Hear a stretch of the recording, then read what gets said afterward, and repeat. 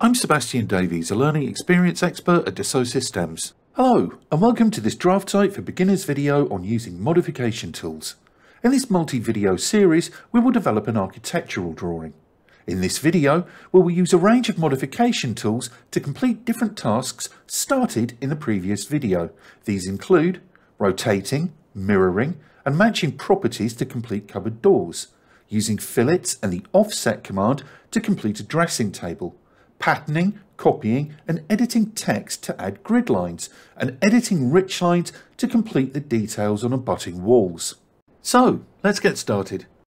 In our previous video, we created different design content, including walls, a table, and a door. None of these are finished and need to be modified. We will start by zooming into the cupboard door.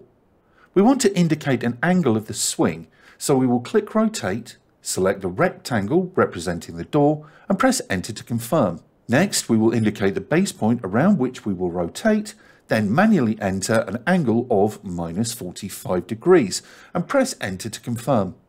We want the properties of the arc and rectangle to match those of the cupboard.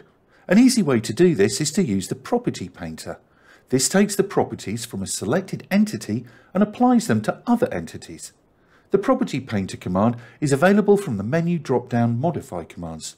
First, we select the source entity, click on the arc and rectangle to apply these properties to them, and press Escape to end the command.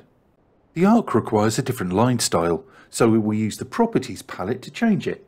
We do this by clicking on the arc and then selecting a dashed line style from the Properties palette. With this done, we press Escape to deselect the arc. This cupboard has two doors, so we need to add another, we can do this quickly using the mirror command to both copy and mirror the existing door to create another. We click mirror, do a crossing window selection to include the rectangle and arc and press enter to confirm the selection. Next, we define the mirror line about which the entities will be copied by clicking the start and end of the mirror line. We then have the option to delete or keep the source entity. We want both, so type no and press enter to complete the cupboard doors. We will pan to the dressing table. It's a basic rectangle, so we will first add some fillets.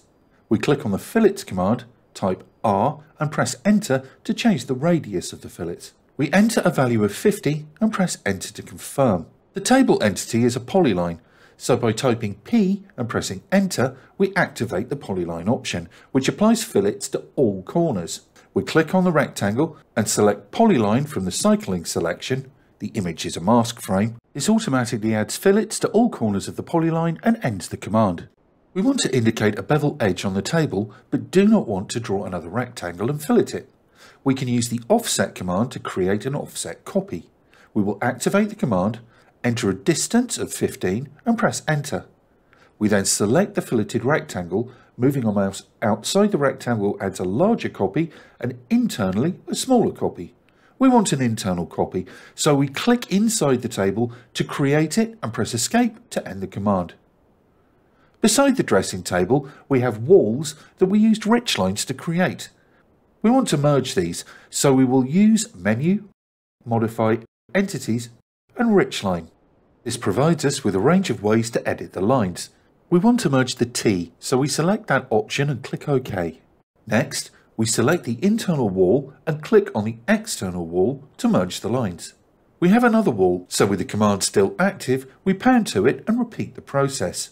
With this done, we can press escape to end the command and zoom out. We need to add more grids, so we will use the pattern command to add them horizontally and vertically. We select pattern and select the entities to be patterned. We change the vertical axis number to 1 as we only want horizontal copies in our pattern, and then set the number of horizontal elements to 11.